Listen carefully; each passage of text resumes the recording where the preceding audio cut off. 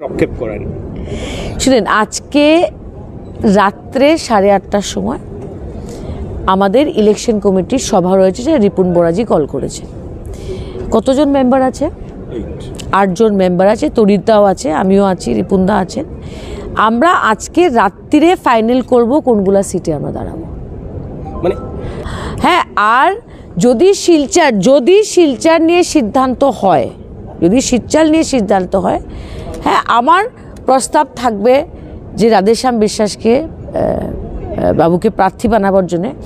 Condition on weather Silchar will be a selected seat so আমরা চারটা বা পাঁচটা সিটের নাম লিখে মমতাদি, অভিষেক বন্দ্যোপাধ্যায়কে কালকে সকালের মধ্যে পাঠিয়ে দেবো।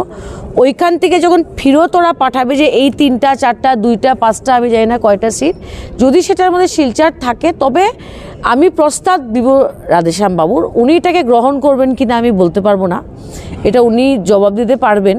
But unless the election committee meeting happens I cannot talk about seat I cannot talk about candidates আর রাধেশ্যাম বাবু ভালো বলেছেন যে he is keen to do organisational work so it is unconditional joining বাকিটাও উনি যোগ্য মানুষ উনি নিজেই বলবেন।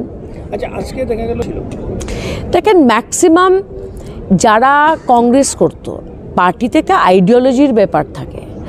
অনেকে যারা কংগ্রেসের আইডিওলজিতে বিশ্বাস করে, তৃণমূলের কংগ্রেসের আইডিওলজিও সেম আমি যখন কংগ্রেস থেকে তৃণমূল কংগ্রেস গেলাম, তৃণমূল কংগ্রেসও তো কংগ্রেস থেকে বেরিয়ে হয়ে এসেছে। তো আইডিওলজিক্যাল যাদের ক্লাশ নেই তৃণমূল কংগ্রেসের সাথে, ওরা জয়েন করছে এবং আরও জয়েন করবে। এটা আপনারা নিশ্চিত থাকেন। এবং আমি মমতার দিকে সংক্ষেপে যেটা বলেছি কালকে আমি চাইছি না যে শিলচারে আমি বিজেপিকে ওয়াক ওভার দেব। কারণ আমি যতটুকু রাজনীতি বুঝি আমি নিজে দুটা এমপি ইলেকশন দাঁড়িয়েছি শিলচার থেকে। আই ফিল এটা প্রায় ওয়াক ওভারের মতো হয়ে যাচ্ছে শিলচার কনস্টিটুয়েন্সিতে দেখুন এটা তো দল যেটাই সিদ্ধান্ত নেবে যে দায়িত্ব আমাকে দেবে সেই দায়িত্বই আমি পালন করব। একটা দলের, যে কোনো একটা দলে আমি এসে গেছি।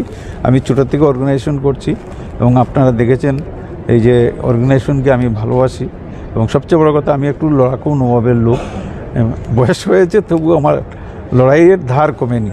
শুধু খুঁজছিলাম যে কোথার থেকে, কোন মানে ইয়ের থেকে স্টেজ থেকে আমি লড়াই করব।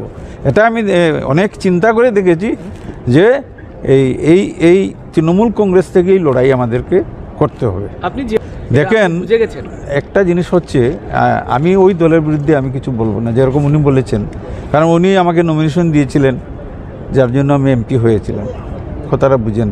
যেভাবে সোনিয়া গান্ধী আমাকে নমিনেশন হ্যাঁ। কাজেই একটা কথা হয়েছে কি আমি সবাইকে নিয়ে কারণ এখানে হয়েছে কি ওই কংগ্রেসি বন্ধুরা বিগত দিনে আমাকে হারিয়েছে দুই হাজার আঠারোর লোকসভা ইলেকশন হ্যাঁ। হ্যাঁ এই যে সিদ্দিক আহমেদ কমলাক্ষ দিয়ে প্রকাশিত ওনারা কি করেছেন? দেখেছেন আপনারা? এক লক্ষ চৌত্রিশ হাজার বুট কেটেছেন। আমি অল্প বুটে হেরেছি। এবং এরা একটা চক্রান্ত করে একটা। এই বর্তমান বিজেপির সঙ্গে আজকে এটা ওয়েল ওনারাও বলেন, আমি, আমরা হারিয়েছি, করিমগঞ্জের সাংসদকে আমরা হারিয়েছি। ওনারা ভাবার নিজেরা নিজেরাই প্রকাশ করেন। কিন্তু এটা আজকে আমি আমি হেরেছি এটা বড় কথা নয়। কিন্তু কথা হলো আমাদের যে লড়াইটাকে কোথায় নিয়ে গেছেন ওরা? আমাদের অস্তিত্বটাকে কোথায় নিয়ে গেছেন ওরা?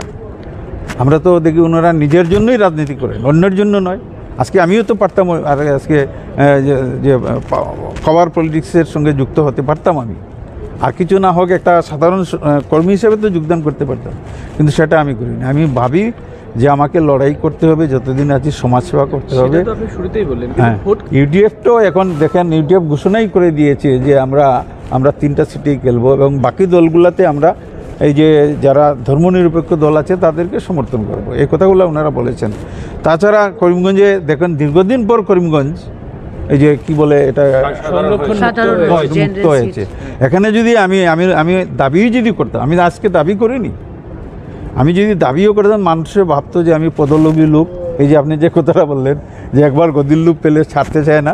আমি সেই ধরনের কোনো আমার মনোভাব নেই এবং যার জন্য আমি ওনাদেরকে বলেই আমি চলে এসেছি। আচ্ছা